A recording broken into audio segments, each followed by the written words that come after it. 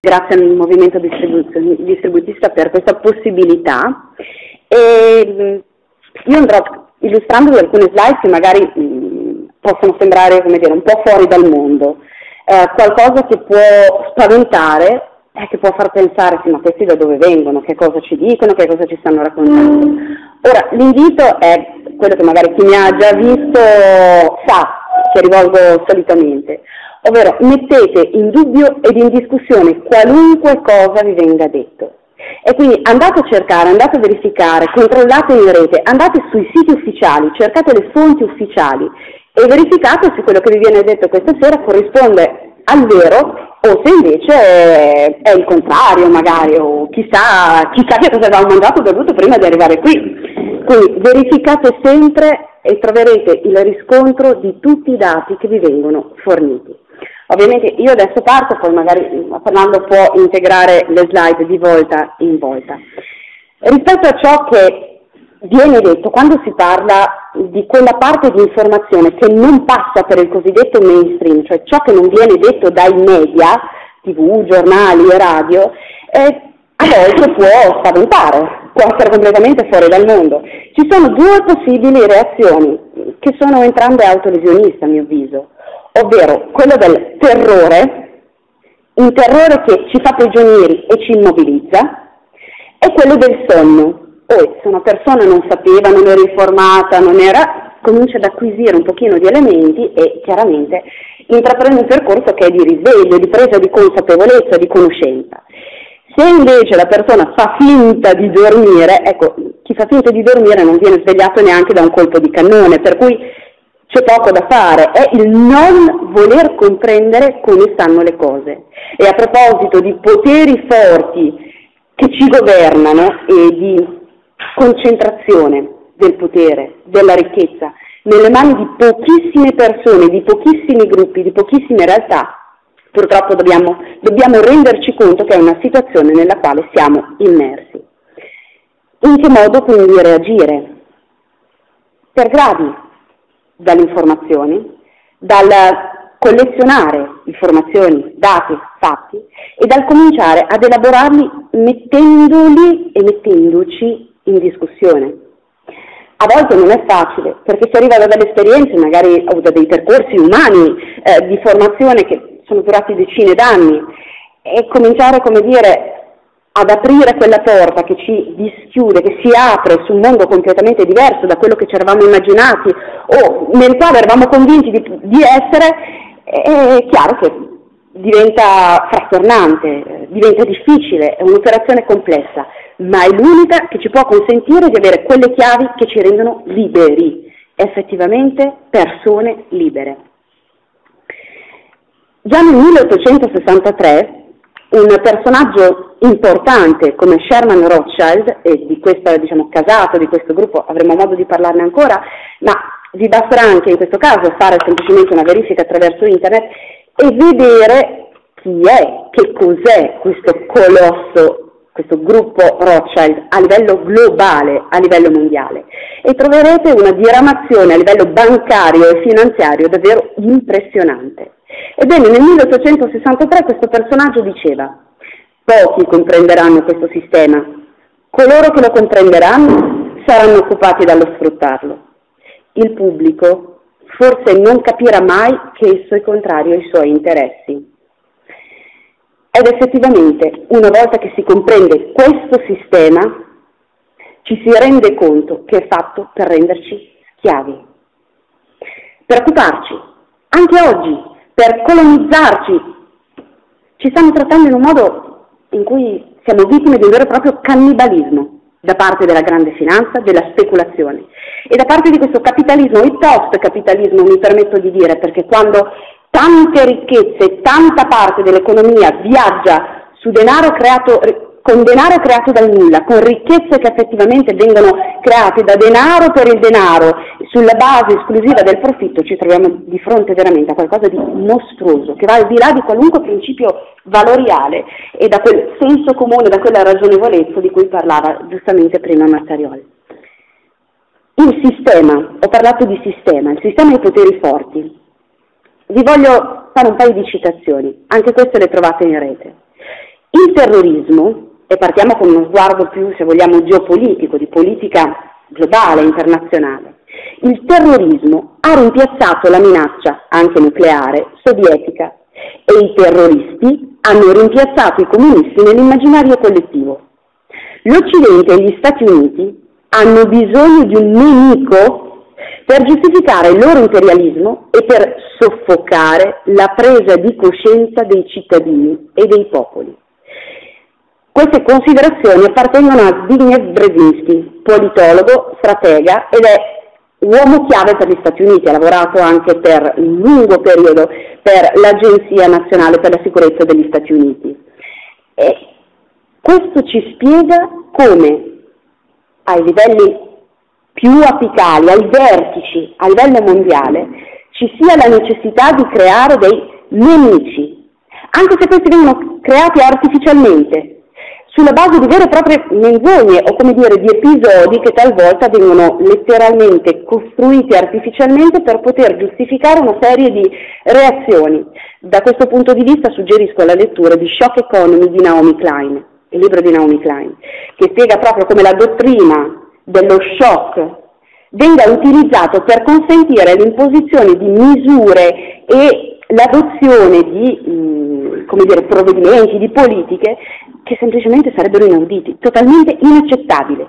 Il politicamente inaccettabile diventa politicamente necessario e in quanto tale, come dire, pigliamo il caso. Anche Monti no? l'ha detto esplicitamente in un'intervista che le, che le crisi sono sì. assolutamente necessarie, senza le crisi non ci sarebbe. Non a caso Mario Monti è uno dei cosiddetti allievi eh, della scuola di, di Milton Friedman. Milton Friedman che a partire dal Cile via via utilizzando tutte le crisi possibili e immaginabili dal punto di vista economico piuttosto che legato a delle catastrofi o a delle calamità naturali, ecco, questi strumenti sono serviti ai poteri forti per poter far tabula rasa, per imporre un sistema non solo capitalistico, ma anche di vera e propria spremitura finanziaria di ogni risorsa possibile e immaginabile. E quando parlo di risorse parlo ovviamente di ricchezze tangibili, materiali, quindi denaro, beni e ricchezze, ma anche territori, risorse come materie prime e fino in ultimo l'uomo, i cittadini, le persone, gli stati, i paesi. Facciamo un esempio, un esempio molto banale, però immagino che vi sarà capitato, prima o poi, eh, di ricevere una richiesta per sottoscrivere una petizione da parte di Avaz. Petizioni interessantissime, alcune davvero straordinarie, dal punto di vista del rispetto dei diritti umani, altri per quanto riguarda eh, la difesa, l'autodeterminazione dei popoli, altri dal punto di vista economico, altri ancora su diversi tipi di ingiustizia che affliggono il nostro paese dal punto di vista ambientale piuttosto che eh, di diritti veri e propri. Attenzione, quando si firma una petizione AVA bisognerebbe sapere che questa struttura è stata creata come un vero e proprio sfogatoio interno al sistema dei poteri forti. AVAS infatti è creato con la supervisione di Res Pubblica, fondata a propria volta dall'Open Society Institute di George Soros. Chi è George Soros? Uno dice, vabbè, per me Pinco Pallo, piacere di conoscerlo, ma chi è? George Soros è particolarmente attivo nel settore dei derivati, con contratti in essere per oltre mille miliardi di dollari. È stato condannato all'ergastolo in Malesia per speculazione finanziaria, mentre in Italia ha ricevuto la laurea honoris causa in economia da Prodi. È uno dei finanziatori delle rivoluzioni fiorite, colorate piuttosto che stagionali, basta pensare alle cosiddette primavere arabe, mm, che in molti punti sono nate in maniera del tutto spintanea, e è comproprietario, insieme ai Rothschild, ecco che ritorna un cognome di cui abbiamo già parlato, del Quantum Fund, che è uno dei fondi speculativi più scatenati a livello mondiale. È un finanziere globale, lui si muove su tutti i mercati, non c'è confine, non c'è limite, se non quello del pianeta. È ex direttore del Council on Foreign Relations, e anche di questo parleremo ancora, è sponsor dello Human Rights Watch, quindi attenzione, quando prendono via campagne di difesa dei diritti umani cerchiamo sempre di controllare bene come partono, da chi partono, su quali presupposti e quali sono le informazioni oggettive che stanno alla base. Chiediamoci se non ci sia una manipolazione politica, economica o finanziaria alle base, perché spesso invece è proprio di questo che si tratta e i diritti umani vengono in un qualche modo spiracchiati da una parte o dall'altra per dare un paravento, una copertura ad operazioni che sono tutt'altro che di tutela dei diritti di qualche gruppo particolare di cittadini, se non di popolazioni intere. Vi dicevo è stato sponsor anche delle rivoluzioni fiorite e colorate della primavera araba, ma è anche membro di garanzia dell'International Crisis Group, ICG. Cos'è sta cosa? Se ne parla mai? L'ICG è questo istituto che fornisce indicazioni a governi, all'ONU, alla Banca Mondiale e all'Unione Europea e come tale sarebbe bene sapere che esiste e che funzioni ha.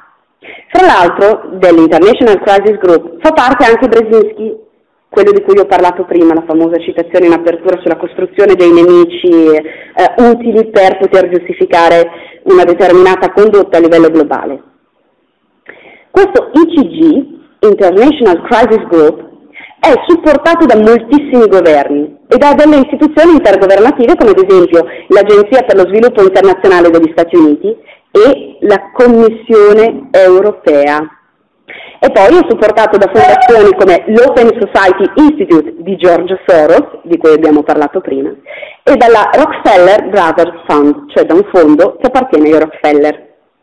Tra i membri privati, quelli che vengono definiti corporate members dell'ICG, ci sono anche il gruppo bancario Morgan Stanley, la Chevron e la Shell, quindi multinazionali e gruppi bancari. Attenzione, faccio un passo indietro. Abbiamo detto che l'ICG fornisce indicazioni a governi, ONU, Banca Mondiale e Unione Europea e fra i membri privati di questa struttura ci sono dei gruppi bancari e delle multinazionali. Quindi la domanda che ne deriva è che tipo di indicazioni forniranno queste organizzazioni intergovernative? Se ne parla un po' troppo poco. Ci sono due grossissime realtà che lavorano rigorosamente, vi invito a visitare i loro siti ufficiali, a porte chiuse, nel segreto. Eppure sono istituzioni che fungono da advisor, da consiglieri, da suggeritori delle politiche che devono essere adottate dai vari governi o dalle realtà come quelle ad esempio europee all'interno delle quali ci troviamo, Commissione europea, Banca Centrale Europea, Consiglio europeo. Sono la Chatham House e la Brookings Institution. La Chatham House ha come funzioni, lo tratto direttamente dal, dal sito, la direzione, il coordinamento, la progettazione e l'implementazione delle attività dell'agenda politica internazionale, cioè un factotum di ciò che va fatto a livello politico internazionale. È dominata però da, del, da degli interessi che sono elitari, non dei cittadini che in qualche modo ricevono le applicazioni delle loro decisioni. E pensate come membri a livello decisionale questa Chatham House ha la Goldman Sachs, Mario Monti era un uomo Goldman Sachs, Mario Draghi Goldman Sachs, Romano Prodi Goldman Sachs. Pensate al ruolo per l'ingresso dei paesi all'interno dell'area euro, chi ha certificato i bilanci? Goldman Sachs, Grecia, ma anche Italia. Poi in mezzo ha la Saudi Petroleum Overseas, quindi il colosso petrolifero dell'Arabia Saudita. Poi la BASF, chimica, il gruppo dei diamanti De Beers, la Banca Mondiale, la Unilever, che è questo colosso multinazionale praticamente di tutto di più, la British Petroleum, ma anche multinazionali farmaceutiche e gruppi finanziari, oltre ad azionisti delle agenzie di rating. Cioè la Chatham House è fondamentalmente diretta e gestita da questo tipo di interessi e indica le politiche a porte chiuse, le decide, ma le indica ai vari governi e alle organizzazioni internazionali. Quindi capiamo già che tipo di indicazioni arrivano e perché siamo sempre costretti, in fin dei conti, a pagare di tasca nostra, nel senso letterale e non solo del termine. A proposito della Brookings Institution, è bene rilevare che ci sono diversi economisti italiani che hanno lavorato o che collaborano attualmente con questa istituzione, molti dei quali, o alcuni dei quali, come dire, svolgono un ruolo piuttosto fondamentale o essenziale anche rispetto a ciò che pare essere il nuovo. E quindi dal punto di vista politico è bene fare attenzione ad andare a verificare chi sono gli economisti italiani collegati a questa istituzione, chi supportano e cosa dicono. Il Brookings, il Brookings Institute ha per obiettivo, anche quello tratto dal sito, rinforzare la democrazia americana, favorire il welfare economico e sociale, la sicurezza e le opportunità per tutti gli americani e assicurare un sistema più sicuro, prosperoso e cooperativo a livello internazionale. E questa è una delle realtà che indica anche a livello europeo che cosa va fatto e che cosa non si deve fare. Ma secondo voi un'istituzione di questo tipo guarderà gli interessi dei cittadini europei, dei Paesi membri del, dell'Unione Europea o ha altri interessi? Vi basti sapere che nel suo consiglio di amministrazione si trovano alcune realtà come la Goldman Sachs, di cui abbiamo già parlato, praticamente la Goldman Sachs è ubiquitaria, non si fa scappare nulla, dove si decide c'è, la Levi Strauss Company, l'Alcoa, la Nike, la Carnegie Corporation, le fondazioni Rockefeller e Ford. Sostegno alla Brookings Institution arriva anche dalla Fondazione Gates, dai Rockefeller, dal governo degli Emirati Arabi, dalla Bank of America, da Jacob e Nathaniel Rothschild, i soliti che ritornano, dalla Exxon, dalla Shell, dalla Lockheed Martin, dalla Westinghouse, dalla GlaxoSmithKline e dalla Boeing. Le multinazionali, farmaceutiche, militari, ma anche degli OGM, gruppi bancari, sono questi che decidono e imprimono la direzione. Quindi quando si parla di sistema dei poteri forti, in realtà è questo che si intende la concentrazione nelle mani di pochissimi gruppi, di pochissime realtà, del potere effettivo di decidere della vita e se mi permettete, visto anche il numero esponenziale dei suicidi che abbiamo visto in Italia, ma in Grecia, ma anche in altri paesi, decidono anche della morte dei cittadini, la partecipazione alle guerre, Basti pensare all'autolesionismo italiano con la partecipazione alla guerra in Libia o nei confronti della Siria ora, cioè, non sappiamo veramente fare altro che come dire, fare un po' i tapazzi, solo che anziché utilizzare la plastica utilizziamo una, una, una clava di, di, di, di, roccia, di granito, ecco, da questo punto di, vista. Chi e come decide? Si diceva prima giustamente, cioè cerchiamo di capire se effettivamente questa partecipazione da parte dei cittadini è effettiva e reale, se il potere, inteso come partecipazione, come decisione, come attività, è effettivamente distribuito o invece come abbiamo appena detto, è concentrato nelle mani di pochissime realtà. Non sono i parlamenti a decidere. Non lo sono a livello nazionale e non lo sono a livello europeo. Ancor meno a livello europeo, dal momento che il Parlamento europeo sappiamo che ha prevalentemente car- un carattere mh, consultivo, quindi non operativo, decisionale. E a livello nazionale citando Ezra Pound, i nostri politici sono i camerieri dei banchieri ma non hanno nemmeno fatto la scuola alberghiera, si sono conciati in un qualche modo a servire al meglio gli interessi delle grandi elite finanziarie globali. Quindi chi decide come decide? Oltre ai gruppi già citati ce ne sono altri, basti pensare al Council on Foreign Relations, con la struttura statunitense ma anche con la struttura europea. E come dire, sono un po' gli esempi di par condicio applicata a tutti gli effetti, perché dentro ci troviamo da Elma Bonino ad Alema a Fini. E quindi, come dire, si raccoglie il, la rappresentanza politica un po' dei vari schieramenti, come dire, il sistema cerca di, di, vincere qualunque sia la posta in gioco, scommette su tutti i candidati perché sa che in un modo o nell'altro può controllare tutti gli schieramenti. Dietro al Council on Foreign Relations, struttura centrale negli Stati Uniti, vi invito ad andare sul sito a cercare i membri, c'è proprio l'elenco, eh, incredibilmente dal 2011 ad oggi, in un file che era originariamente di quattro pagine, sono sparite le prime due pagine iniziali, un po' quello che è successo anche con l'Aspen Institute, di cui parleremo fra poco, e un po' come è successo anche con altri gruppi corporativi, stile Bilderberg, spariscono dei file che prima erano fruibili. E adesso, curiosamente, cliccandoci su trovate solo un file che è pagina 3 e 4, non esiste la pagina 1 e 2.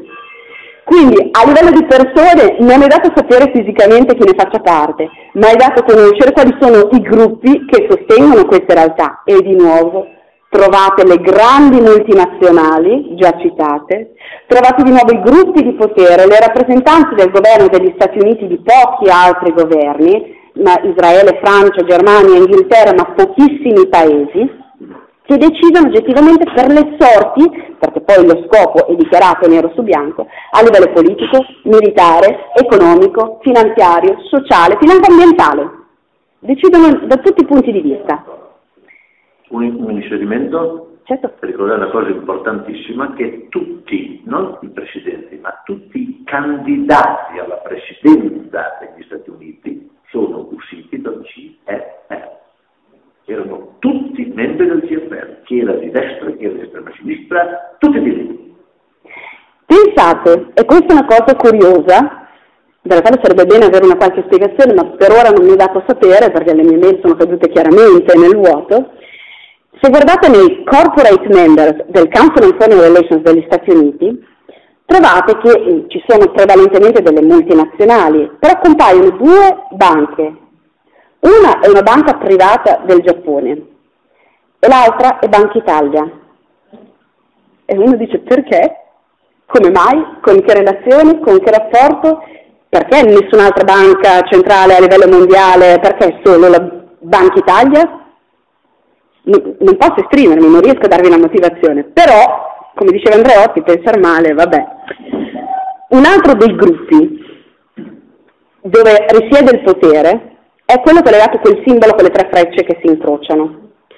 La commissione trilaterale, suddivisa diciamo nel ramo giapponese, nel ramo statunitense nel ramo europeo.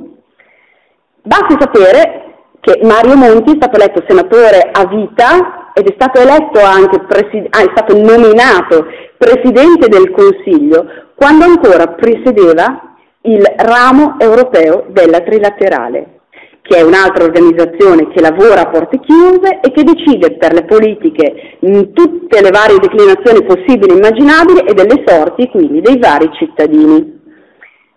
Altrove l'avrebbero chiamato conflitto di interesse, per noi è stata la normalità, anzi la giustificazione ufficiale che è arrivata dalla fonte proprio del, della Presidenza del Consiglio dei Ministri è che con l'anno nuovo, quindi all'inizio del 2012, Mario Monti ha dato le dimissioni da Presidente del ramo europeo della Trilaterale anzi c'è la giustificazione e siccome è in mezzo ai potenti lui aiuterà l'Italia a salvarsi. L'abbiamo visto. Un altro dei gruppi veramente importanti è questo gruppo dei 30, il gruppo of 30. Anche di questo si parla poco. Mm, la sua definizione è Consultative Group on International Economic and Monetary Affairs, quindi un gruppo consultivo sulle, sugli affari, sulle politiche monetarie, economiche e internazionali. E vi basti sapere che all'interno c'era un personaggio che si chiamava Tommaso Padua Schioppa e che all'interno ci sono altri personaggi che risiedono a livello apicale nei vari governi, mm, non solo europei ma anche statunitensi, globali è il caso di dire. Anche questo, se cercate sul sito, ha come modalità di lavoro prediletta quella a porte chiuse. Cioè, noi subiamo le loro decisioni, però non è dato sapere che cosa venga deciso in questi ambiti. La stessa cosa succede a livello mediatico. Il potere dei media è intellettuale. Qui ho citato l'Aspen Institute. Aspen Institute con sede ad Aspen, Stati Uniti, ma con diramazioni in vari paesi, fra cui anche l'Italia. Esiste l'Aspen Institute Italia. Ed anche qui, come dire, è un'altra di quelle realtà che si occupa prevalentemente dei media, dell'informazione, anzi nel sito potrete leggere che si parla di armonizzazione delle informazioni per quanto riguarda la geopolitica, l'economia, la finanza, la società e la cultura, quindi armonizzazione sta tanto di appiattimento, sta tanto come dire di veline fornite ufficialmente, tant'è che l'edizione del TG1 delle ore 20 del 9 gennaio del 2010, se non ricordo male, forse del 2009 però, apre con la notizia ufficiale che finalmente la RAI ha aperto la collaborazione ufficiale con l'Aspen Institute. E uno dice boh sarà una notizia da dare che ci frega che cos'è questa cosa. Poi uno va a vedere e dice oddio. Praticamente adesso ci arrivano le notizie confezionate direttamente made in USA che cosa si può dire e che cosa non si può dire. D'altra parte questo non ci deve sconvolgere molto. Dal momento che ad esempio nella vicina Grecia come ha fatto sapere l'ex ambasciatore greco in Canada, sono state dettate letteralmente delle norme, delle linee guida alle quali i giornalisti sono obbligati ad attenersi. Chi le viola viene in un qualche modo avvicinato ed abbordato da persone, dagli apparati dello Stato, di sicurezza dello Stato, e convinti ad agire diversamente. Se no, succede, come è accaduto all'inizio del novembre dell'anno scorso, quando un importante giornalista della principale TV greca ha, dato, ha, passato il filmato in cui il primo ministro greco veniva fischiato e contestato. Giorni dopo è stato licenziato in tronco. Questo è quello che succede a livello di libertà dell'informazione. I media oggi sono di proprietà e se andiamo a controllare le proprietà risaliamo agli stessi gruppi familiari, alle stesse persone, agli stessi ambiti a cui facevo riferimento prima con gli altri gruppi, o sono asserviti comunque a quei poteri forti. Nella migliore delle ipotesi si parla di autocensura o allineamento rispetto al pensiero forte dominante. Cioè non bisogna disturbare il sistema, pena l'annientamento. Adesso per uccidere dal punto di vista mediatico ci vuole poco, non si, non devono anche spendere i soldi per comprare i proiettili o le armi, basta spegnere i microfoni, basta spegnere le videocamere, basta spegnere la voce, non si esiste più. Nella società attuale esiste solo se passa in televisione, una cosa è vera fin tanto che passa in tv, se non passa in tv non esiste, basta, è semplicissimo annientare qualcuno. E poi c'è un'altra cosa grave, un pullulare di intellettuali o teorici spesso imposti dai media come esperti, sedicenti esperti o effettivamente plasmati all'interno di strutture economiche e finanziarie, quindi come dire perfettamente allineate con il sistema imperante, o scelti dai partiti. E quindi è chiaro che figure di questo e delle logge. È chiaro che figure di questo tipo non possono che essere sostenitrici o parti integranti del sistema stesso. Non c'è altra possibilità. Questo è quello che impone il sistema, questo è quello che impongono i poteri forti, per cui sembra essere l'unica realtà esistente.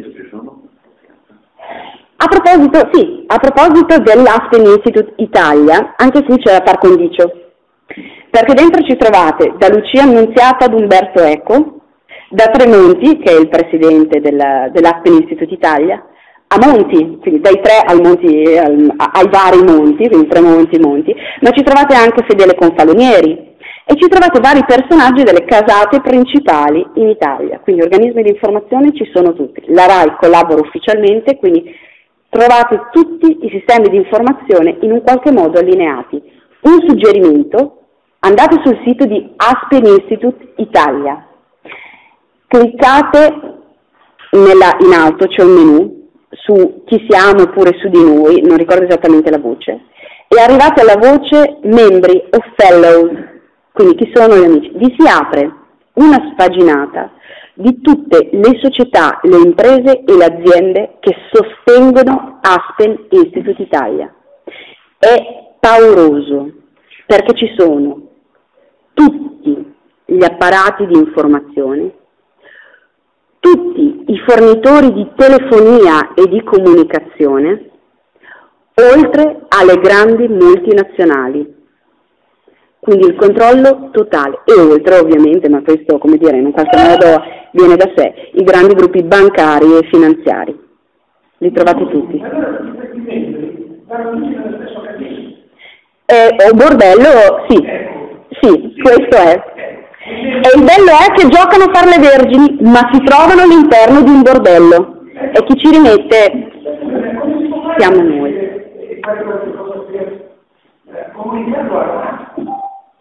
Il problema più grosso è proprio quello dell'informazione e adesso ci arrivo. I poteri forti hanno una potenza di fuoco che è mostruosa. Pensare di combattere il sistema dall'interno è, secondo me, un suicidio, perché si viene o silenziati o annientati in alcuni casi anche fisicamente. Un nome che butto lì per quanto riguarda l'Italia è ad esempio Aldo Moro, per cui molti hanno ipotizzato motivazioni diverse per la sua eliminazione, ma sappiate che aveva anche acconsentito alla stampa delle 500 lire della Repubblica Italiana. Era una moneta e le aveva utilizzate proprio per lavorare verso la piena occupazione, per estinguere una parte del debito. Ripeto, 500 lire della Repubblica Italiana, moneta quindi che era pubblica e di proprietà dei cittadini italiani. E come dire, esatto, in precedenza possiamo parlare di Kennedy, possiamo parlare di Lincoln, possiamo parlare di personaggi che avevano attribuito questa funzione al denaro. E toccare certi argomenti, a volte come dire, toccare certi fili si rischia fu- di essere fulminati. Gheddafi. Esattamente, sì. Esatto. No, un trucco c'è, un trucco c'è e poi adesso ci arrivo subito perché in realtà poi sto arrivando già alla conclusione. La manipolazione continua che fanno sulle nostre menti ci porta ad essere massa, c'è una massificazione, dicevi giustamente prima cioè, siamo numeri da spremere, consumatori da sfruttare, eh, schiavizzati ridotti in schiavitù, cannibalizzati per molti aspetti, e però se ne può uscire, anche se l'ostacolo principale è quello all'informazione. I cittadini che hanno un'informazione reale, vera, con dati di fatto oggettivi, non quelle confezionate, le informazioni confezionate dall'Aspen o preparate dalle veline ufficiali, possono acquisire degli strumenti per potersi difendere e per poter dimostrare che esiste un altro sistema, perché dicevo combattere questo dall'interno è molto autolesionista. Bisogna creare un altro sistema, un'altra realtà ed è possibile. Se uno dice ma guarda qui, cioè, hanno vinto loro, basta. No, io sto girando moltissimo, devo dire, in questi mesi e li tocco con mano, li vedo, li conosco, conosco i gruppi che si stanno organizzando nelle varie comunità, nelle varie realtà e stanno mettendo in piedi veramente un sistema diverso. Il problema è che sono tutti esempi scollegati fra di loro, eh, isolati, evolutamente tenuti isolati, in maniera tale che il divide impera possa essere la parola d'ordine di un sistema che vuole annientare chi va al di fuori dello steccato. E quindi l'informazione, l'impegno da parte di ciascuno di noi a non doversi per forza proclamare esperto o ad avere la paura di non essere esperto nel parlare con l'altra persona. Cominciamo a confrontarci, a parlare, a dire le cose che si sanno, a far circolare le informazioni, i, i link, i documenti che magari abbiamo, eh, le pagine, le fotocopie che possiamo fare dei materiali che sono utili per questo percorso di presa di consapevolezza. E poi ci sono alcuni altri passaggi, a mio avviso, che possono essere fondamentali, a partire dall'eliminazione di ogni cordone umbilicale con chi ha già governato ed è complice di questo sistema. Perché in una realtà piuttosto che in un'altra, insomma, li abbiamo già visti e come dire, abbiamo anche già dato non c'è destra, centro, sinistra che possa tenere e tutto ciò che sembrava in qualche modo trasformato, trasmutato, riciclato, recuperato, in realtà era la manifestazione dello stesso sistema di poteri forti che ci ha condotto sin qui oggi. Le brave e ottime persone ci sono in tutti gli schieramenti partitici o politici. C'è chi agisce veramente in buona fede, al di là dell'attaccamento ideologico, affettivo, magari con una parte piuttosto che con un'altra. Ma il problema è che all'interno di questo sistema non hanno voce, non hanno potere, decidono i vertici, i vertici, come si diceva prima, sono asserviti a questo sistema di poteri forti. E quindi si cominci a togliere l'infa questi partiti e chi ha già governato, eh, parafrasando Einstein, insomma, non si possono risolvere i problemi con le cause che li hanno provocati fondamentalmente, quindi effettivamente non servono riforme, servono cambiamenti profondi.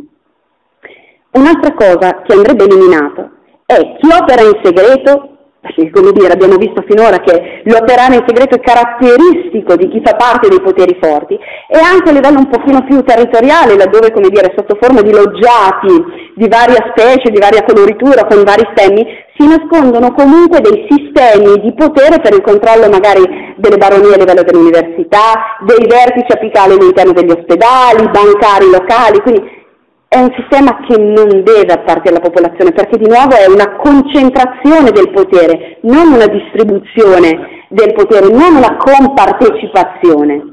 E quindi nulla a che vedere con le massonerie, con i gruppi che lavorano in segreto e tantomeno con l'illecito, con la criminalità, questo va un po' da sé.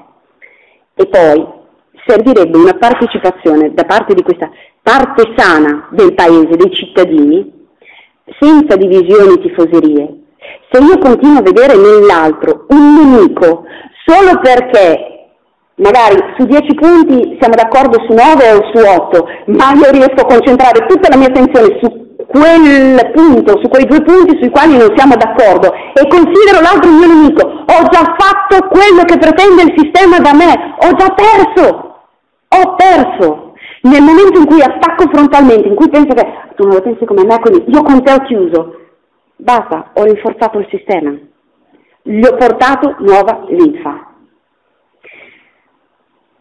Una cosa che è importante, qui trovo veramente molto di interessante, fa parte anche un po' della proposta alla quale il mio movimento sta partecipando, riportare il potere, nel senso buono dell'accezione, significa partecipazione, significa condivisione, significa gestione della cosa pubblica, significa gestione della nostra vita, del nostro futuro, a livello della comunità, il più vicino a noi possibile a livello di decisione, di partecipazione, in tutti gli aspetti, eh, dal lavoro all'ambiente, alle relazioni interpersonali, ai vari nuclei familiari, al riappropriarci anche delle relazioni di quel benessere interno lordo che invece abbiamo sacrificato in virtù del PIL, prodotto interno lordo, uno dei famosi parametri, tra l'altro, che ci hanno imposto anche per la permanenza a livello delle strutture europee.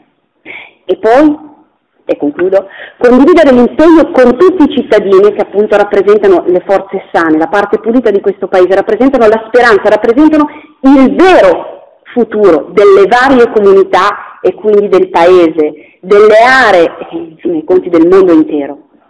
Ad esempio, per quanto riguarda l'Italia, Ogni cittadino italiano, senza distinzione di classe, sesso, fede, dovrebbe unirsi agli altri cittadini per decidere le sorti della propria comunità e del proprio paese, per quello che è una vera e propria distribuzione del potere. Prendo in prestito, condivido, ecco. Non è il nostro monopolio.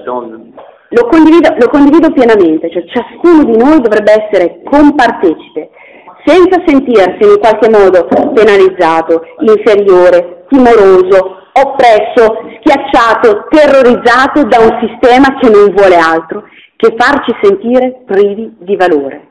Invece ciascuna persona, ciascun individuo rappresenta il valore massimo in sé e in relazione con gli altri componenti della propria comunità. Cominciamo a lavorare da qui e avremo veramente applicato, realizzato nel concreto una grandissima e profonda rivoluzione.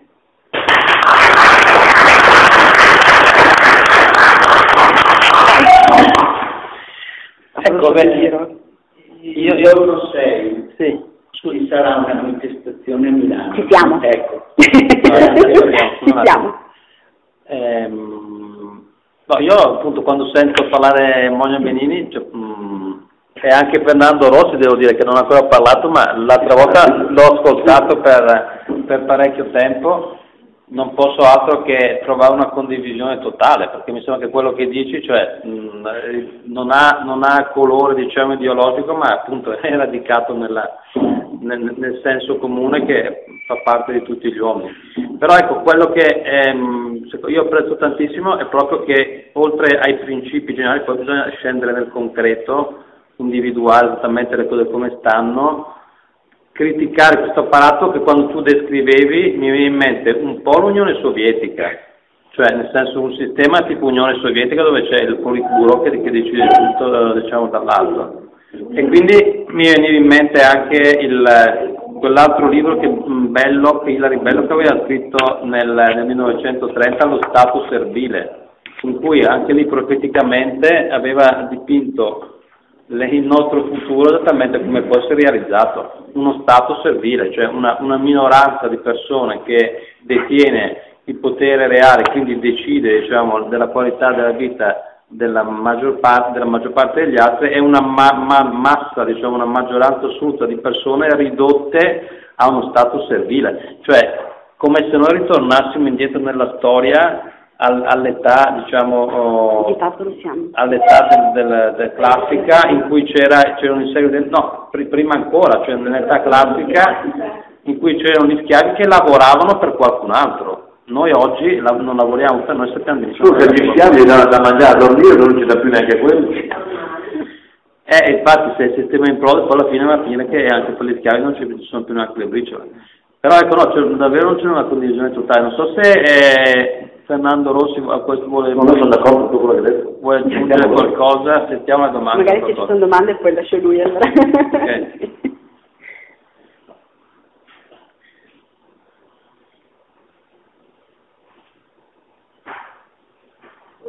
Intanto eh, il 6 aprile perché visto che non è che per le comunità riviste eh, è organizzata una manifestazione a Milano dalle 10 del mattino e per rispondere alla domanda eh, prima cosa possiamo fare?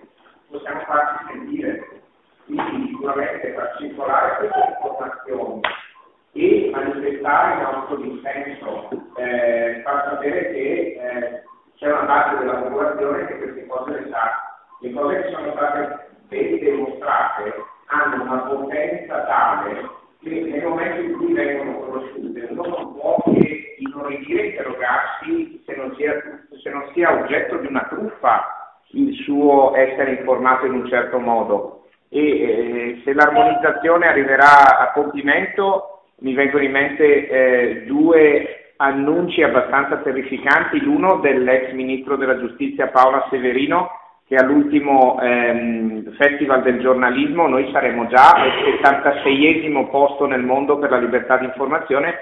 Paola Severino, non eh, eletta ma anche lei parte di un governo nominato da Massoni, eh, aveva detto effettivamente l'emergenza in Italia è mettere un controllo all'informazione troppo, eh, mh, troppo selvaggia quindi questo si legge in realtà come un voler controllare di più proprio la libertà di informazione. C'è un libro di Franco Bernabé che è tra le tantissime cariche presidente europeo della Rothschild Europa, che è una fondazione che è in, in 4 o 5 di, quei, di quegli istituti che sono stati mostrati, oltre a essere il patron della Telecom ovviamente, che ha scritto un libro che si intitola Libertà vigilata, nel quale dice che è necessario arrivare alla monetarizzazione della consultazione di alcune pagine internet per poterne controllare l'accesso e, e per poter istituire eh, la responsabilità da, da parte di chi apre determinate pagine internet delle informazioni che vengono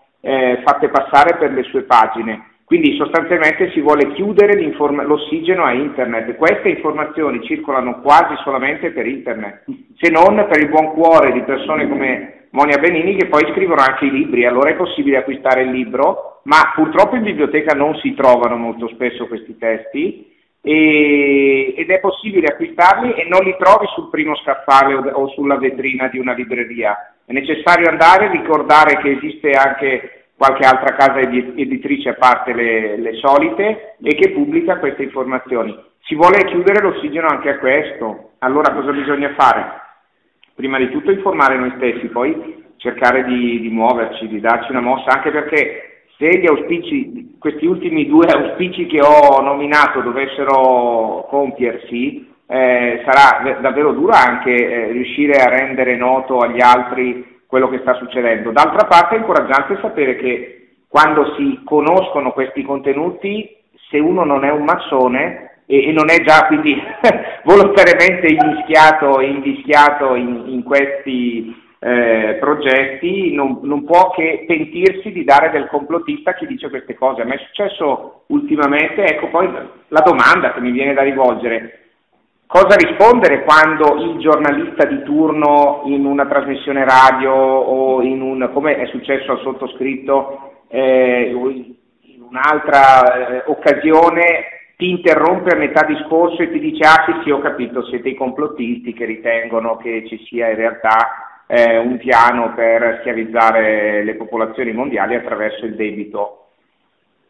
Come, come se ne esce se non dicendo che eh, chi ti accusa di questo evidentemente, se si vuole credere alla buona fede, è disinformato e imbevuto di, di quel relè salvavita che il sistema ha creato all'interno di se stesso, cioè eh, dare del matto a chi dice solamente la verità. Senza superbia intellettuale. Senza superbia intellettuale, così. Chi era il giornalista? Caso si, tra- si, trattava di una radio che dovrebbe essere anche una radio abbastanza ehm, libera e controinformativa, è Radio Onda d'Urto di Brescia. E quando io ho nominato, finché si parlava per esempio di manifestare contro gli sfratti per, a difesa del, della proprietà della casa e del diritto alla casa di ognuno, si era perfettamente d'accordo, io sono per la, eh, il diritto di cittadinanza, ci mancherebbe, e eh, i mutui delle case che non vengono pagati e quindi gli sfratti in realtà sono dei prelievi forzosi del sistema bancario nei confronti dei poveri eh, mutuatari disperati che non riescono a pagarsi e, e, su questo si andava d'accordo. Quando io ho cercato di spostare l'asticella un po' più in là, andare all'origine del problema, allora scoprire che questo è un macro, eh, una macro truffa macroeconomica che funziona a livello globale, non è solo responsabile il Berlusconi di turno, ma qui purtroppo corresponsabile sicuramente, ma non è purtroppo l'ultimo responsabile, altrimenti basterebbe aspettare la, la, la, il, suo, il, suo, epilogo eh, ehm, anagrafico. E, e, allora e quindi ho nominato i vari Monti, Papademus eh, e, e, gli intrighi che ci sono, ma soprattutto gli intrecci de facto, perché basta approfondire e scoprire queste, queste, questi apparentamenti così stretti e sospetti per, per dover aprire gli occhi. E nel dire questo sono stato interrotto poi a metà discorso quasi mi è stato detto sì, abbiamo capito, questa è la tesi del complottismo, noi non siamo d'accordo, non stiamo qui a sviscerarla fino in fondo, ma eh, riteniamo che sia il sistema eh, capitalistico storico classico che si combatte solo con eh, la lotta in piazza per sì, però ma ci vogliamo capire, cioè se eh, chi ti dà gli ordini è nella Goldman Sachs, è chiaro che tu questa cosa non la vedrai mai fino in fondo mi viene in mente l'articolo sul Fatto Quotidiano di Gianroberto Casaleggio eh, di settimana scorsa, un'intervista nella quale lui sosteneva che eh, si uscirà dalla situazione di, di, crisi mondiale attraverso una guerra termonucleare, sembrava vaneggiasse, e eh, poi finalmente tutti voteremo in internet per un governo unico mondiale. Questa sarebbe la soluzione. E l'ha detto Casaleggio che ha fondato il Movimento 5 Stelle che dovrebbe liberarsi esatto, forse in quel caso. No, ma infatti lui ha apertamente parlato di depopulation, cioè la riduzione del numero della popolazione e finalmente respireremo radiazioni evidentemente e potremo votare. È un'intervista che è sul fatto quotidiano dove auspica la cancellazione delle, di tutte le ideologie politiche, dei credo religiosi, la eh, fondazione di una umanità unica sotto un governo unico. Questo è il vertice del Movimento 5 Stelle che si presenta come riformatore, che spazza via la classe politica di ladroni, e, e però è governato al suo vertice da questi auspici. Io ho conosciuto dei grillini, dei grillini non sono così folli, eh, probabilmente sono già predisposti ad aprire gli occhi sulla realtà, tuttavia eh, dovrebbero evidentemente leggere le interviste di chi ha fondato il loro movimento e interrogarsi sul perché non vengono mai nominati questi poteri forti, ma ci si rivolge solo ai vari Fiorano della politichetta italiana, ma non si va a nominare la BT, la Goldman Sachs, la JP Morgan, la Morgan Stanley e la UBS, queste ultime quattro hanno il 70% del debito speculativo mondiale, o meglio sono i creditori del 70% del debito speculativo mondiale. Quattro famiglie, quattro banche private, evidentemente c'è qualcosa che non va. Eh, queste cose perché non vengono dette? Cosa rispondete quando vi danno dei complottisti? Questo sono curioso perché a me ormai ci ho fatto il callo, sono abituato a sentirmi dare del complottisti. Ma c'è risposto lui. È una domanda retorica. E noi siamo, voglio sperare noi vostri, voi siete così che siete delle cose Al di là di questo che può essere, come dire, uno strumento retorico per fronteggiare un giornalista, eh, bisogna ricordarsi per esempio che il quotidiano della grande sinistra francese Libération è di proprietà di quei signori lì e che anche molti movimenti rivoluzionari a destra o a sinistra in Italia sono di proprietà di quei signori lì. E allora si capisce un po' come funziona il meccanismo. Come diceva Monia, serve per tenere divisa la gente. In più ci sono dei comportamenti. Uh, la destra ha alcune cose che non può dire e la sinistra ha alcune cose che non può dire. Se tu dici signoraggio e moneta alla sinistra, ah, questa è roba di destra. No, è roba la, la moneta, signoraggio, la patria, è roba della destra. Boh, quegli altri, se tu dici del lavoro, degli scioperi, no, è roba della sinistra, no, non si può. E quando invece sono cose che riguardano tutti gli italiani. Ma la questione che lavora per noi è che è davvero folle questo sistema. Cioè ci sono proprio dei pazzi alla guida di questo sistema. Uh, adesso non mi ricordo la citazione, comunque il concetto è in un mondo che è finito, è quello che è. Ci sono i minerali che ci sono, c'è il petrolio che c'è e c'è quella sciolina di ossigeno in cui noi viviamo attorno a questo pianeta, che è quella che è. In questa situazione un sistema che ha alla sua base lo sviluppo continuo e progressivo, la definizione è o è un idiota o è un economista, uno che sostiene queste cose qua. Cioè non è possibile. Quindi tutto il sistema si regge su una cosa che non è credibile, che non è vera, matematicamente, fisicamente.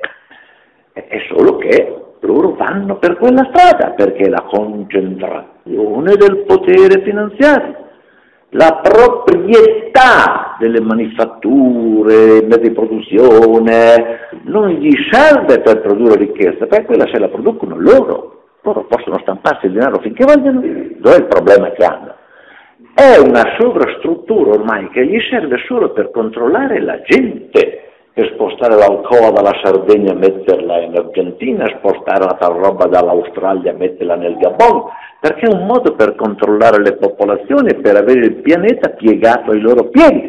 Non devono esistere dei contropoteri.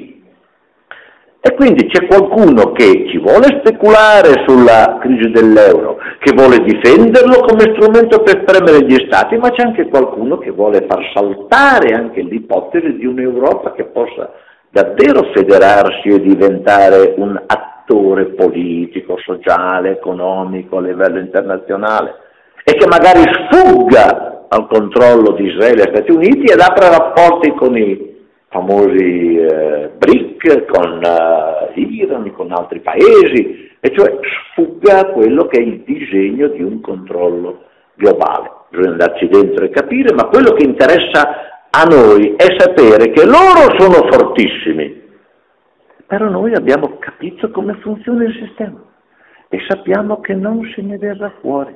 Che governi Bersani, che governi Monti, che governi Berlusconi Adesso bisognerà tirar fuori degli altri miliardi per il MES, per uh, l'ERS uh, e via dicendo. Adesso parlano già di un 5% di aumento delle tasse, di aumento delle... Non ne possono venire fuori perché il sistema è fatto in modo per andare a prendere tutte le possibilità di tassazione, le risorse, i patrimoni pubblici degli stati, quello è il disegno. Quindi fuori non ne verranno e il popolo continuerà a soffrire in Italia come da altre parti. In Grecia hanno sperimentato fin dove si può subire, a Cipro hanno fatto un altro passo avanti adesso, quindi loro continuano sempre a vedere fin dove la famosa rana che se la butti nell'acqua bollente salta via, ma se la metti nell'acqua fredda e cominci a scaldare piano piano, quella te la fai lessa che neanche reagisce e si lascia lessare. Quindi loro stanno vedendo cos'è che possono togliere a un essere umano con il loro potere e, e fin dove la politica può sostenerli. Allora noi in questo quadro abbiamo da far circolare delle verità il più possibile. Io non credo che loro siano contro internet, perché se pensiamo a Facebook, tutta una serie di strumenti, la stanno usando più loro che noi, nel senso che intanto raccolgono tutti i dati, tutte le informazioni delle persone che sul tal tema sono sensibili, che sono disposti a fare qualcosa, che vorrebbero fare qualcosa e loro incrociano tutti gli altri elementi e conoscono di noi forse più di quello che sappiamo noi, perché poi fanno guardare quello che scriviamo, quando lo scriviamo, che ora lo scriviamo, come lo scriviamo, da degli esperti, noi qui siamo 10-12 persone, loro hanno migliaia di persone che studiano il comportamento della nostra testa, dei nostri gesti, delle cose che ci... Perfetto, perfetto. Quindi loro intanto lo strumento per tenerci controllati, oltre a registrazioni telefoniche e quant'altro. E poi ti mettono in un recinto. Poi tu puoi sfogarti finché vuoi, puoi bestemmiare contro Monti, contro Napolitano, contro chi vuoi te, sei lì, sei lì dentro, stai lì, alla sera ti sembra di aver fatto la rivoluzione, vai a letto, il giorno dopo il mondo è quello che era prima. E avanti così, un, fai un evento, ma siamo a Bergamo, 200 persone dicono partecipa, partecipa, poi perché è un mondo irreale, è un mondo virtuale, non, è un non luogo. È un non luogo. E allora serve più a loro che a noi. Quindi non credo che faranno fuori internet. Eh, e però, ovviamente, c'è chi dice ci sono milioni di persone gratuitamente, se le facciamo pagare, tanto sono soldi che incassiamo, quello è il primo ragionamento che fanno. E il secondo è che magari così riescono a filtrare di più, a evitare che circolino anche le informazioni. Perché una buona informazione in mezzo a mille informazioni non buone, fai fatica a farla passare, anche perché loro istruiscono delle persone, a volte li istruiscono loro e a volte sono ignoranti per conto proprio, e fanno circolare convinte di spaccare il mondo, ingigantiscono le robe o inventano delle bugie e le mettono nella stessa pagina dove prima c'erano delle verità dopo diventa la pagina delle bugie. Ad esempio sulla Grecia c'è un personaggio che si è divertito a dire delle robe non vere, a ingigantirle, dopodiché i giornali ufficiali hanno avuto gioco facile per dire di lì vengono delle bugie. Finito. E quindi quando tu parli di una roba, loro ti infilano i troll, ti infilano le persone, e, e questo qui è, è un dato, non è che siamo complottisti. La stessa Unione Europea ha già selezionato le persone che dovranno dare battaglia nei, nei, blog, nelle pagine, a tutti quelli che mettono in discussione l'euro e l'Europa, ci sono le persone pagate per mettere lì la calunnia su chi ha fatto quell'articolo, per dimostrare delle cose diverse, per mettere dentro di zagna, sono pagati.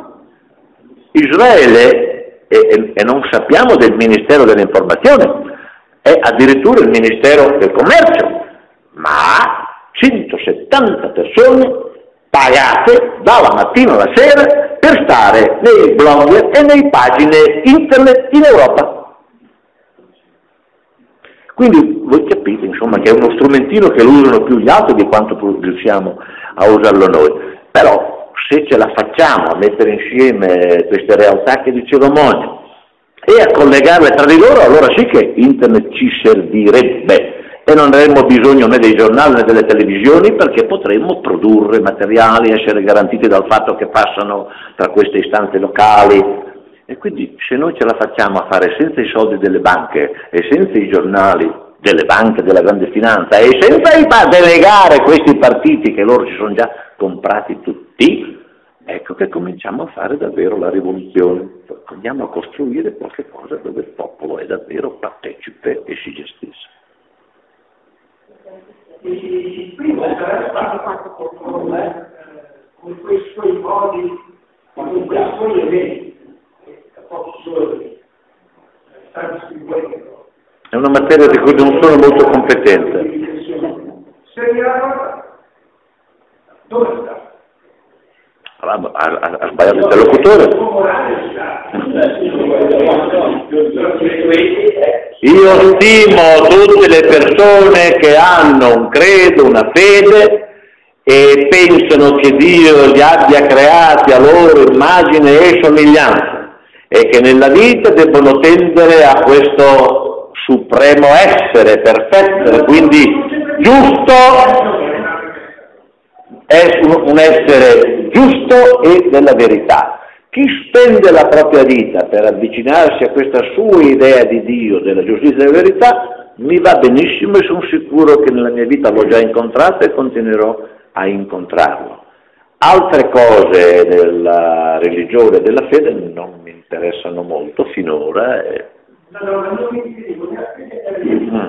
quindi per esserci noi a un certo punto cominciare a vedere il raggiungimento dorato la croce. La materia rossa non ce l'ha. Cioè, quest'arte si usa così ci racconta.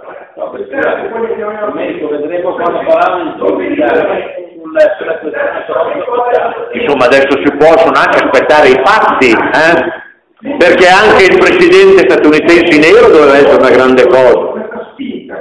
Ma boh. No, forse Domenico dobbiamo aspettare quando farà qualche enciclica sulle questioni economico-sociali. Allora lì forse si vedrà perché che posizione prende quel tipo di uomo. Io, io volevo dire un'altra cosa. Io, io credo che bisognerà vedere cosa fa in un breve periodo sullo IOR. Eh. Se nel breve periodo fa qualcosa, vuol dire qualcosa. Se non fa niente, vuol dire che continua ma se fa sarebbe bene evitare il caffè. Mm.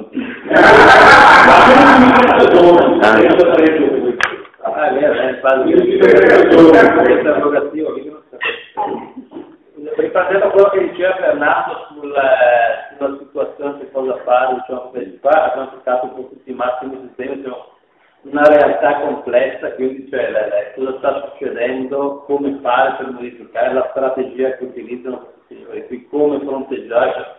Abbiamo trattato dei temi molto molto complessi diciamo, e grossi. A me mi aveva colpito quello che aveva detto eh, John Medailla, che è un futurista americano che verrà qua al 23, che mi ha detto la prima cosa che potete fare, diciamo, visto che eh, per noi c'è una follia, e sono assolutamente d'accordo su questa eh, definizione, una follia o un cancro, un, un, un impazzimento cellulare, diciamo, un, facendo un paragone alla, io sono medico, quindi alla, alla realtà corporea. La situazione attuale è come se fosse un tumore nell'organismo, questa produzione sempre più veloce che porta poi allo sfinimento e al crollo del, dell'organismo e del, del corpo nella sua complessità. Però Medail diceva eh, incominciate a, cioè, a partire dal, se, se, c'è una follia, voi eh, eh, rispondete con la, la, ragionevolezza, se c'è in realtà l'utopia, un luogo che non esiste perché si autodistrugge, rispondete con qualcosa di concreto che è, è, è legato diciamo, al reale. E quindi eh, incominciate a partire dalla famiglia, incominciate a incominciate, cioè dove, lui dice dove c'è un, un territorio in cui non c'è l'individuo isolato, ma ci sono delle famiglie vive che tra loro si, eh, si contattano, si, eh, si, eh, c'è un legame diciamo, di solidarietà reciproca, tutto sommato diciamo, dice, avete diciamo, quel che vi basta, diciamo, avete il necessario diciamo, per sopravvivere, cioè come primo passo. Eh, avete già, no? se voi avete una famiglia che, che è una famiglia diciamo, viva, diciamo, vivente, queste famiglie si mettono in contatto tra di loro, voi create un nucleo diciamo, di, di, resistenza diciamo, a tutto ciò che è, dire, è utopico e quindi folle, che riesce diciamo, a far fronte alla, cioè questa, a, a, a questa situazione di, di, di, di, follia collettiva. Quindi questo è la, il primo punto diciamo, da cui partire, cioè creare una rete di, di famiglie soli, solidificarle, rinforzarle, dargli vigore, dargli anche consapevolezza diciamo, del valore che hanno questi luoghi naturali che eh, sono a disposizione di tutti e che mh, stanno per essere diciamo, distrutti in questo, in questo sistema. Incominciate da lì e poi incominciate da tutte le sacche di resistenza che ci sono. Io penso al mondo delle cooperative, per esempio, il mondo delle cooperative, del, del no profit, cioè un mondo di, di, di, persone che fanno un lavoro, non lo fanno per motivi, diciamo, per, eh, lo fanno perché ci credo, io personalmente ne, ne conosco centinaia di, di, di, queste persone qua. Eh, an- di persone, anch'io, di cooperative che davvero scelgono no profit ne conosco poche. Guarda, io ti posso dire che c'è una cooperativa eh, in Francia, si chiama Mondragon, che è, eh, scusa, in, in, Spagna, in, Spagna, che è passata da, eh, nel giro di, di 15-20 anni, è passata da 4.000 a 86.000 iscritti, però ha dei principi distributisti, cioè di ragionevolezza alla radice, cioè eh, l'85% delle persone che lavorano sono proprietari dei, dei, mezzi di produzione di tutte queste varie cooperative. Come io ho e, 50 anni e conosco le cooperative rosse. Sì, sì, no, no, no, ma ci mancherebbe, ci sono quelle vere e quelle false. E lo stipendio massimo all'interno di questo gruppo no, di, di, cooperative non può essere 10 volte superiore a quello minimo. Lì l'operaio ha una paga che è superiore diciamo, rispetto a quella dell'operaio medio. Non solo, ma l'operaio, chi lavora, partecipa, essendo proprietario, a tutte le varie fasi, sia della formazione sia anche della politica diciamo, economica e questi qui sono stati in grado di adattarsi ai cambiamenti economici in maniera molto più agile che non le grandi corporation, le grandi industrie che sono rette secondo altri eh, meccanismi dirigistici che sono inefficienti, diciamo alla fine, oltre che inequi, non equi e, e ingiusti. Quindi cioè, noi abbiamo già, nella, senza andare a inventarsi delle cose fut, futuriste, eccetera, cioè eh, ci sono già questi semi di, di ragionevolezza che vanno, oh, vanno, aiutati, vanno rinforzati diciamo, nella loro consapevolezza e, e bisogna partire da, da, da, queste sacche di resistenza che, che, che, già esistono, però bisogna partire oltre con una past destruence, cioè fargli vedere come giustamente state mh, mm, facendo voi a dire che qui la situazione è folle, perché la situazione è folle dal punto di vista monetario, dal punto di vista economico, dargli anche una direzione ben chiara che non sia una, un, un'altra utopia, ma che sia un qualcosa radicata nella realtà, nell'esperienza, nei desideri reali, diciamo, che le persone sentono e percepiscono nel, dentro di sé, perché, perché è, è, c'è una strada possibile. Ora, questa strada adesso che, che di ragionevolezza che indica il, il, distributismo, a me sembra, le tracce di fondo, chiaramente, che, che abbiamo descritto prima, che sia una proposta ragionevole, una proposta attuabile, una proposta alla fine, diciamo, concreta. Eh, perché la gente ha bisogno della pass adesso, ma ha bisogno anche della pass contro, ha bisogno di, di sapere in che direzione si sta andando.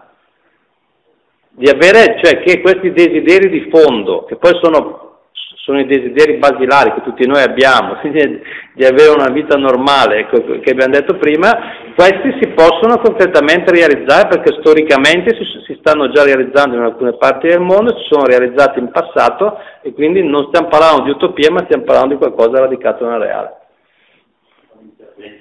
Due. Ce ne sono altri. Eh, visto che che dobbiamo renderci conto che il 50% della responsabilità di tutto quello che abbiamo visto è no. Cioè dobbiamo smetterla di sentirci vittime, perché la vittima è la parte fondamentale della schiavitù, esattamente come il carnefice. Quindi, sentendo queste cose, è legittimo provare un senso prima di rabbia, aggressività e poi di frustrazione per impotenza inevitabile, cioè io cosa posso fare, la solita domanda che ci si sente fare. Però è ora anche di compiere un passo ulteriore e dire io non sono la vittima sacrificale se non con il mio consenso, è addirittura responsabile anche chi queste cose non le sa, perché non si è mai preso la briga di andare ad approfondirle. Io le ho scoperte grazie al fatto che ho deciso di vedere brutte verità. C'è una resistenza, secondo me, inconscia che fa sì che uno queste cose non le voglia sentire e non le arriverà a sentire. Quando incidentalmente succede che incappa in qualcuno che le dice, gli dà del complottista.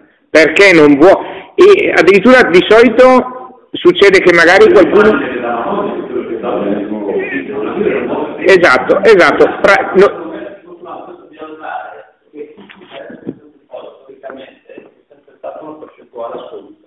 Noi dobbiamo andare dalla, dallo studente che vuole avere un futuro, dall'artigiano che gli sta chiudendo la ditta, dal lavoratore dipendente che fa una vita che non, non gratifica granché perché appena muove un dito arriva il superiore e gli dice e dargli delle risposte concrete che realizzino i loro bisogni umani concreti che secondo me non sono, cioè noi siamo qua un gruppo limitato, giusto che acquisiamo queste informazioni, ma la grande massa diciamo, della, della popolazione in questo momento sta soffrendo e non ha diciamo, delle risposte concrete.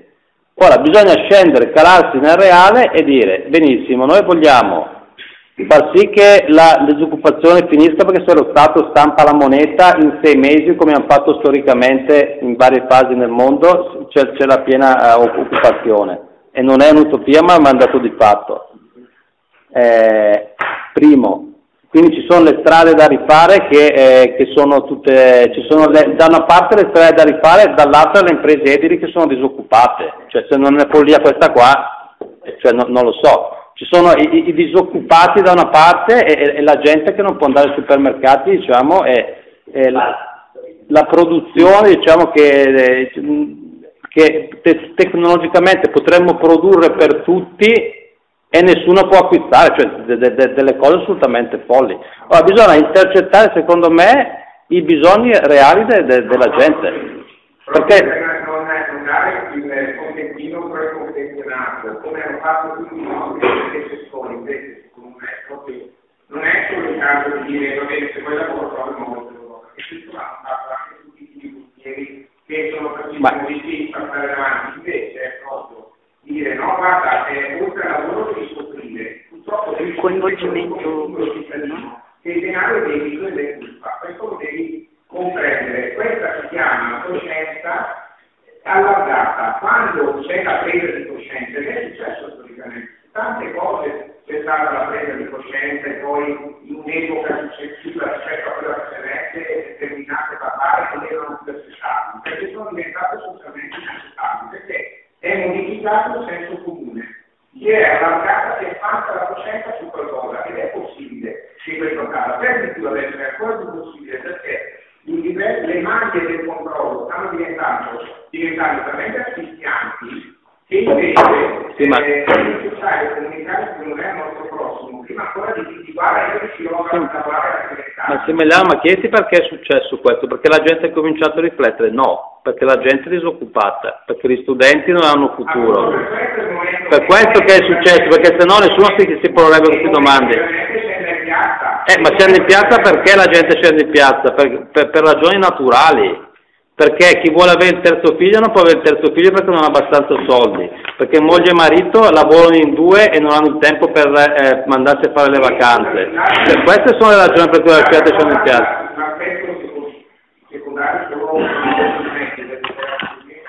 No.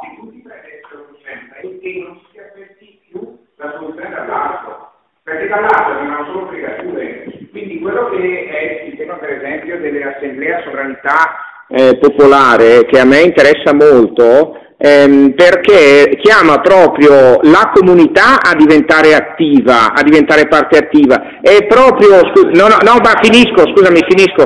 Se, se, manca, se manca la presa del controllo della politica da parte della comunità, che finalmente diventa parte attiva e si interessa attivando, tu dici ma lo, lo dobbiamo chiedere anche alla casalinga, secondo e proporzionatamente alle sue possibilità, sì, è necessario, perché altrimenti da, da, un sistema come quello che abbiamo visto fino adesso, che è quello del controllo dall'alto, purtroppo arriva, se, se non prima, dopo, i grandi potentati si comprano esattamente quelli che, le, che prendono le decisioni.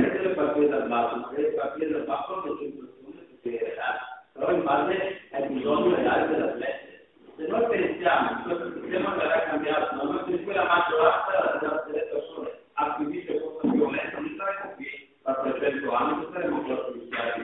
Non serve la maggioranza, serve, serve, il numero, serve il numero sufficiente, c'è un numero sufficiente che è inferiore alla maggioranza.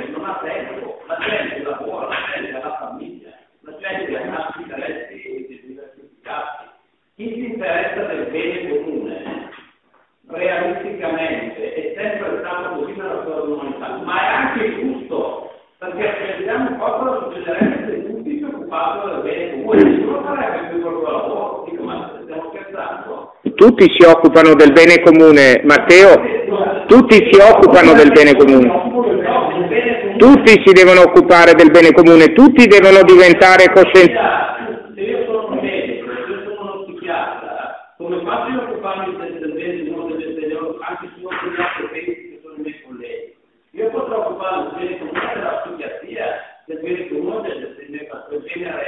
E allora cosa ci fai qua? E allora perché non sei curare i malati? Chi l'ha detto per chi fermato?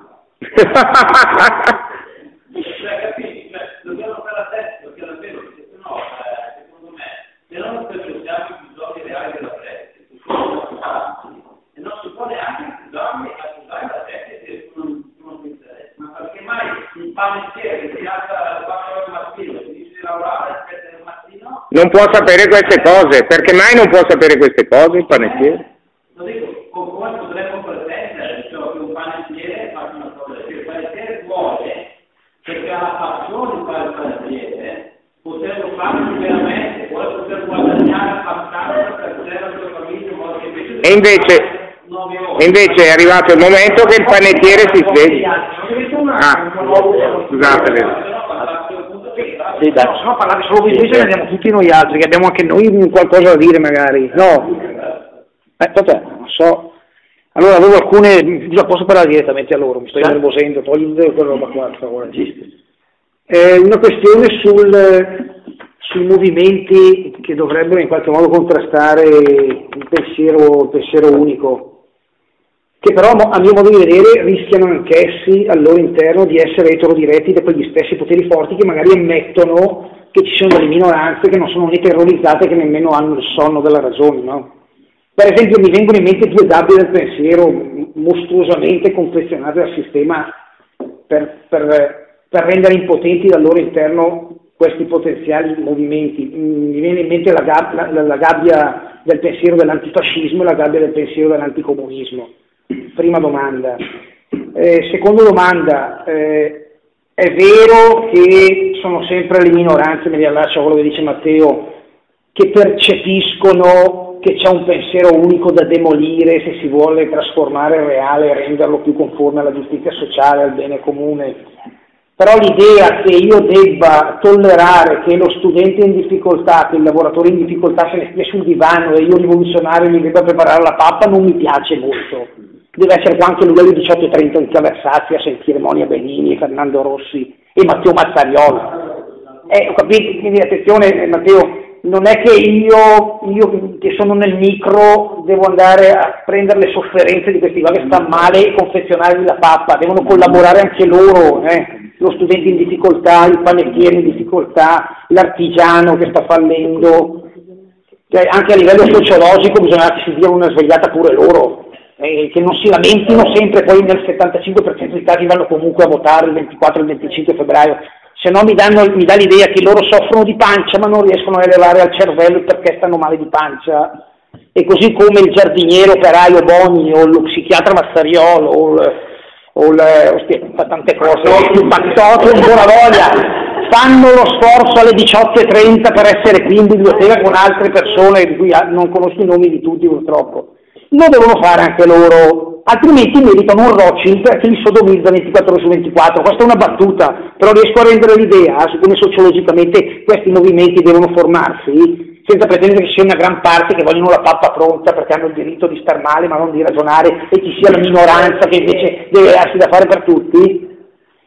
Poi una terza cosa, io lavoro da 17 anni in una cooperativa sociale, sono d'accordo con quello che dice Matteo, la cooperativa sociale la cooperazione sociale è forse l'unica isola all'interno del mondo produttivo che antepone i bisogni della persona a quelli del profitto. Però attenzione, una cooperativa funziona al di fuori del sistema capitalista e lo sanno anche chi fa cooperazione da decine d'anni, altrimenti fa la stessa cosa che fa una suora all'interno di una casa di appuntamenti. Una cooperativa e noi non faccio differenza tra rosse, verdi e bianche, eh, perché sennò finisce per essere una, una, una, lotta tra polli come quelli di Renzo e di Manzoniana memoria. Le cooperative sono destinate all'impotenza e al fallimento nel loro progetto di mettere veramente al centro la persona, se devono vi vivere anch'essi all'interno del solito rapporto di riproduzione capitalistica, perché devono partecipare anche loro agli appalti come tutti gli altri capitalisti classici. Quindi la prima cosa che devono fare i, i cooperatori sociali, mi ci metto dentro anch'io che 17 anni faccio questo mestiere e vivo questa contraddizione, la vivo alla luce del sole, è che devo conciliare l'anticapitalismo del tempo libero con la pretesa di mettere al centro la persona nel tempo pieno delle otto ore di, di, di, di operaio cooperativo giardiniere che faccio, però bisogna uscire dal capitalismo, eh. Eh, questo è indispensabile, bisogna uscire dalla proprietà privata dei mezzi di produzione. Poi una quarta e ultima cosa, vorrei la risposta sulle due gabbie del pensiero dell'antifascismo e dell'anticomunismo. Il quadro di Munch, quello del terrore, il quadro della gatta addormentata mi sembra, adesso non mi ricordo chi, chi, chi sia il pittore lì. No, no, è una foto. Ah, una foto, brava, eh. Quelle due icone che rappresentano chi si terrorizza e chi non, ha voglia di, di, di, di capire la realtà che lo circonda, sono un po' gli emblemi della mia sorella, di mio cugino, di mio zio, persone magari a cui, al mio amico della mia compagnia storica con cui ci esco da vent'anni, persone che magari non hanno intelletto inferiore al mio, ma difettano di volontà, cioè non passano dall'intelletto alla ragione, cioè non passano dall'usare l'intelligenza per essere dei buoni medici, buoni chimici, buoni giardinieri, ad avere invece la ragione che mette in relazione il mio soggetto con la totalità che mi circonda e allora quella totalità comprende Rothschild, Rockefeller, eccetera, eccetera. Domanda, come costringere questo mio fratello, questa mia sorella, questo mio cugino, questo mio amico che pure voglio, gli voglio un bene all'anima, ad interagire con la totalità e a non invece gestire la propria intelligenza solo in termini tecnico come vuole il capitalismo? Ecco, queste sono due domande annesse alle due riflessioni di prima.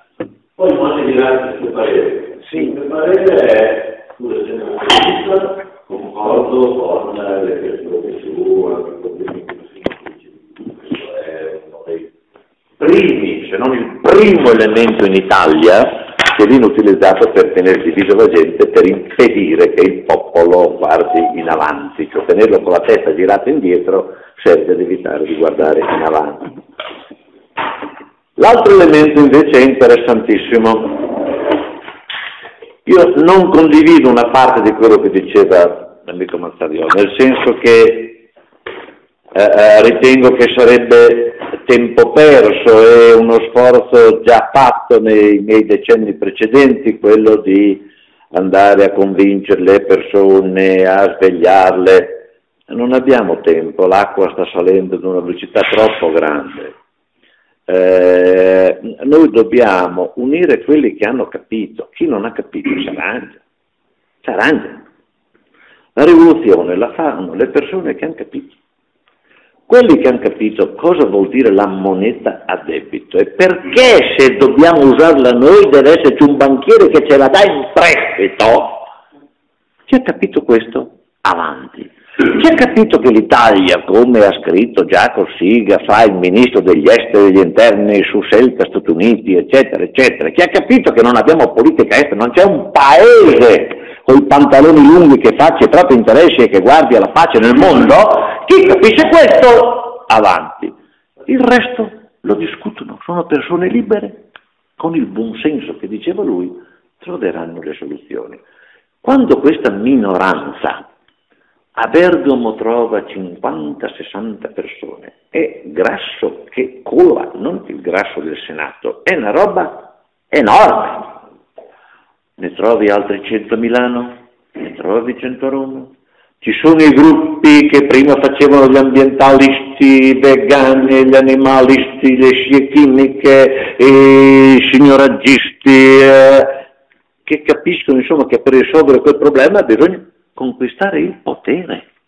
Non è che noi possiamo stare qui a, a litigarci io e lui, io, io e te su quello che faremo il giorno dopo che avremo il potere, se si lavorerà due ore, se si lavorerà otto ore, se il privato fa... Bisogna conquistare il potere, perché qualsiasi riforma, qualsiasi cosa pur bella che noi riusciamo a fargli fare, e il potere ce l'hanno loro, fanno quello che vogliono loro. Quando passò lo strumento di controllo sulla Banca d'Italia, D'Alema fece fare la leggina Per cui Banca d'Italia era di nuovo libera di fare quel cavolo che voleva, sia sull'usura che sull'anatocismo. Quindi se il potere ce l'hanno loro, dagli la moneta pubblica in mano a loro, ma se ce l'ha Bersani, Berlusconi o Monti, rubano di più di quello che rubavano prima, se possono fare la moneta loro.